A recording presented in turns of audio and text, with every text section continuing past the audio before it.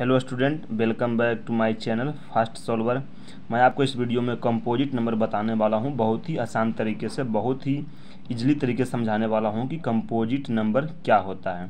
ठीक है, आप इस वीडियो को लास्ट तक देखिए। आपको बहुत ही अच्छे तरीके से समझाने वाला हूँ कि कंपोजिट नंबर क्या होता है। बहुत लोग क्या करते हैं कन्फ्यूज़ हो जाते हैं, बहुत लोग भूल जाते हैं। ठीक है तो मैं आपको बहुत ही इजीली तरीके से, बहुत ही आसान तरीके से समझाने वाला हूँ कि कंपोजिट नंबर क्या होता है। ठीक है, आइए चलिए देखते हैं। अब यहाँ पर देखिए composite number a number which has more than two factor is a composite number ठीक है मोर देन का मतलब होता है कि मतलब अधिक है। ठीक है, मैंने दो से अधिक है। मतलब कंपोजिट नंबर ये है जिसके दो से ज़्यादा फैक्टर हो। ठीक है, जिसके दो से ज़्यादा फैक्टर हो, उसको हम बोलते हैं कंपोजिट नंबर ठीक है अब यहाँ पर फैक्टर का मतलब क्या है? कि फैक्टर क्या होता है? ठीक है तो आइए चलिए देखते हैं। एग्जाम्पल्स हम समझते हैं। एग्जाम्पल्स थोड़ा क्लियर समझ में आएगा। जैसे मैंने कोई एग्ज़ाम्पल लिखा, जैसे मैंने लिखा टू ठीक है? पहली बात तो आप ये देखिए कि टू के कितने फैक्टर हो सकते हैं। ठीक है? फैक्टर का मतलब ये है कि टू जो है किस किस टेबल में आता है? या फिर टू को कौन कौन से नंबर डिविजुअल कर सकता है? ठीक है? या टू को जो जो नंबर डिविजुअल करेगा, वो उसके, वो टू के फैक्टर कहलाएँगे। या फिर टू जिस जिस के टेबल में आता है, वो वो फैक्टर कहलाएँगे। ठीक है? तो टू के हम कितने फैक्टर कर सकते हैं? तो टू को हम क्या है? एक तो टू का फैक्टर वन होगा, एक तो टू का फैक्टर टू खुद होगा। क्यों? क्योंकि टू जो है वन के भी टेबल में आता है, और टू क्या है? कि टू जो है अपने खुद के टेबल में आता है ये।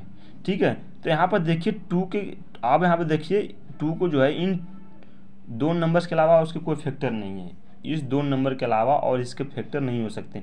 क्यों? क्योंकि और टू तो किसी नंबर में आता नहीं थ्री ना फोर में। तो टू के कितने फैक्टर हैं?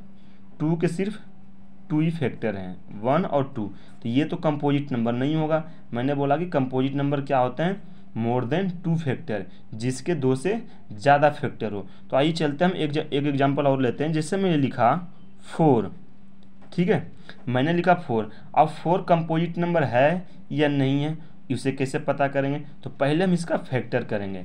फैक्टर का मतलब क्या हुआ दोस्तों? कि ये फोर जो है, किस किस नंबर से डिविजुअल है?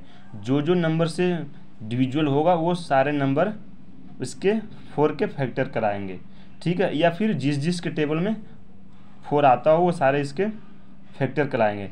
तो फोर को कौन कौन नंबर डिविजुअल कर सकता है? एक तो वन कर सकता है, एक टू कर सकता है, ठीक है?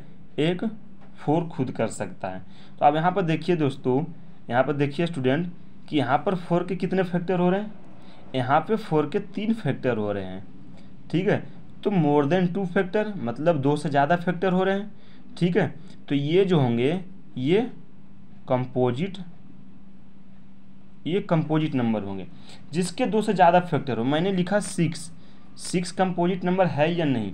तो सिक्स जो है किस किस के टेबल में आता है? एक तो वन के टेबल में आता है, एक टू के टेबल में आता है, एक थ्री के टेबल में आता है, ठीक है?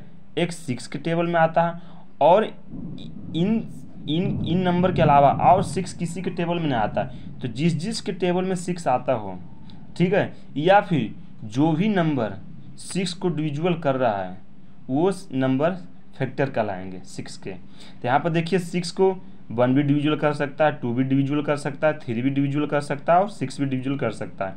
तो ये सारे जो नंबर हैं, ये सारे नंबर सिक्स को डिविजुअल कर सकता है। तो ये सारे नंबर क्या होंगे? फैक्टर कहलाएँगे सिक्स के। तो फैक्टर कितने हो रहे हैं? वन टू थ्री फोर तो ये भी क्या है? कंपोजिट नंबर ठीक है?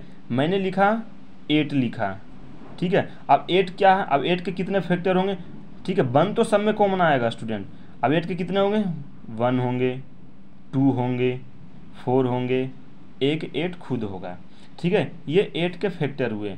एट को कौन कौन से नंबर डिविजुअल कर सकता है? एक वन कर सकता है टू कर सकता है, एक फोर कर सकता है, एक एट खुद कर सकता है। ये सारे नंबर एट को डिविजुअल कर सकता है। तो जो जो नंबर एट को डिविजुअल कर सकता है, वो सारे एट के फैक्टर कहलाएँगे। तो यहाँ पर देखिए मोर देन टू फैक्टर मतलब दो से ज़्यादा फैक्टर हैं तो ये कंपोजिट नंबर कहलाएँगे। ठीक है स्टूडेंट? बहुत ईजिली तरीके से समझाया स्टूडेंट। अगर ये, अगर आप वीडियो आपको अच्छा लगा हो, पसंद आया हो तो आप इस वीडियो को लाइक सब्सक्राइब ज़रूर करें स्टूडेंट।